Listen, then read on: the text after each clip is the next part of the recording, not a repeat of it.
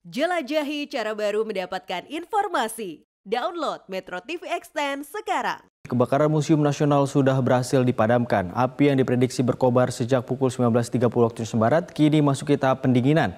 Dan untuk mengetahui kondisi terkini dari Gedung Museum Nasional atau Museum Gajah, kami akan tersambung dengan jurnalis Metro TV, Tasya Arneta Butar-Butar.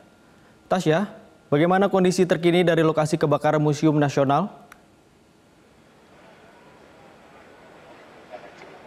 Ya, Sandi dan juga pemirsa yang bisa kami laporkan untuk kondisi terkini dari Museum Nasional dan Museum Gajah yang terbakar dari pukul setengah delapan tadi dan sudah mulai uh, padam apinya dan saat ini sedang dalam proses pendinginan. Artinya tadi pada pukul setengah delapan uh, butuh memakan waktu dua jam untuk api bisa dipadamkan dan memang untuk proses pendinginan sendiri diperkirakan dari pihak kepolisian akan memakan waktu kurang lebih 30 menit dan saat ini memang uh, pihak kepolisian sedang mengirimkan tim untuk melakukan pemeriksaan, yakni akan mengirimkan lapor dan juga ahli-ahli uh, sejarah lainnya untuk memprediksi sekiranya berapa kerugian yang terjadi akibat dari kebakaran di Museum Nasional dan Museum Gajah saat ini.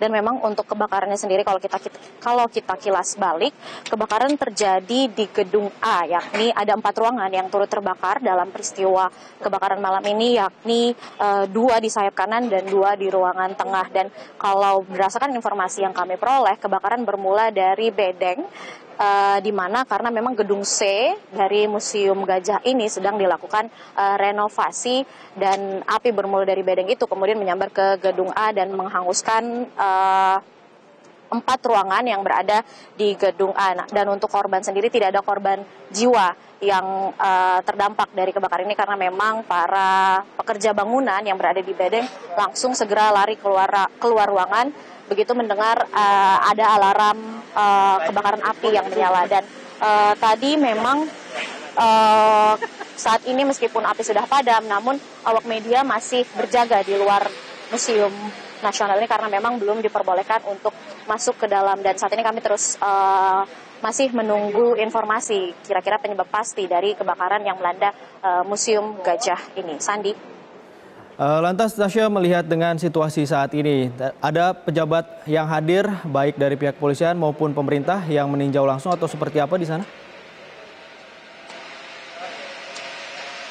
Ya, Memang uh, dampak dari kebakaran ini tadi sempat uh, datang Kapolda Metro Jaya Irjen Pol Karyanto untuk meninjau langsung kondisi dari kebakaran di gedung uh, Museum Gajah ini. Dan di belakang saya tadi sempat ada Menteri uh, Mendikbudristek yakni Nadiem Makarim untuk uh, melihat langsung bagaimana uh, kondisi gedung A yang memang menyimpan uh, penyimpanan barang-barang bersejarah dan untuk memantau bagaimana kondisi benda-benda uh, uh, yang ada di ruangan uh, gedung A sendiri. Dan uh, untuk itu juga uh, tadi Nadiem Makarim uh, didampingi uh, Irjen Pol Karyanto sudah kembali lagi ke dalam untuk uh, berdiskusi terkait langkah selanjutnya yang akan dilakukan dalam menindaklanjuti kebakaran yang terjadi di Museum Gajah dan Nasional ini. Dan pihak kepolisian pihak kepolisian sendiri dari informasi yang kami peroleh akan menurunkan satu SSK uh, satuan setara kompi atau 80 personil untuk uh, mengawasi uh, kebakaran yang melanda Museum Gajah ini karena memang Museum Gajah sendiri uh, berisikan uh, artefak atau barang-barang bersejarah yang bernilai tinggi. Sandi. Polisi mengaku telah menerjunkan tim untuk melakukan penyelidikan pemicu kebakaran. Apakah sudah terlihat olah TKP, Tasya, untuk penyelidikan lainnya? Sejauh ini untuk olah TKP, untuk olah TKP uh, masih dalam uh, masih kami terus gali informasinya apakah polisi sudah memulai olah TKP. Namun yang bisa kami sampaikan untuk uh, Sandi dan juga pemirsa saat ini pihak kepolisian sudah uh, berjaga-jaga sudah mulai banyak pihak kepolisian yang terlihat berjaga-jaga di sekitaran uh, kawasan gedung uh, Museum Gajah ini dan nantinya untuk kapan kiranya olah TKP akan dilakukan akan terus kami pantau dan segera akan kami uh, beritahukan kepada Anda dan juga pemirsa. Terima kasih Tasya Arneta Butar-Butar atas laporan Anda langsung dari Gedung atau Museum Nasional Gedung uh, Museum Gajah melaporkan terima kasih. Selamat kembali bertugas. Dan Cara mudah mendapatkan informasi dengan satu sentuhan jari. Download Metro TV Extend.